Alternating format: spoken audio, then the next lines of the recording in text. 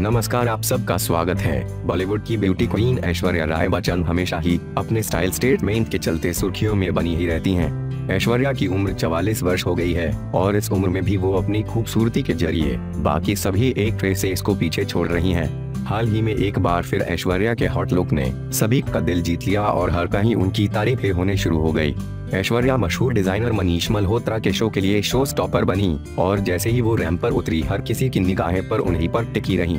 Qatar में आयोजित हुए फ़ैशन वीकेंड इंटरनेशनल 2018 में ऐश्वर्या राय की खूबसूरती ने सभी का दिल लूट लिया।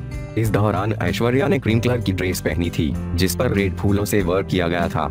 इस खूबसूरत ड्रेस में ऐश्वर्या बेहद खूबसूरत लग रही थी। ऐश्वर्या ने खुद इस इवेंट की तस्वीरें अपने इंस्टाग्राम अकाउंट पर शेयर की है। ऐश्वर्या ने बेहद बोल्ड पोस्ट देकर फैंस को खुश कर दिया है। उनके फ़ोटोज़ आते ही सोशल मीडिया पर वायरल हो गए।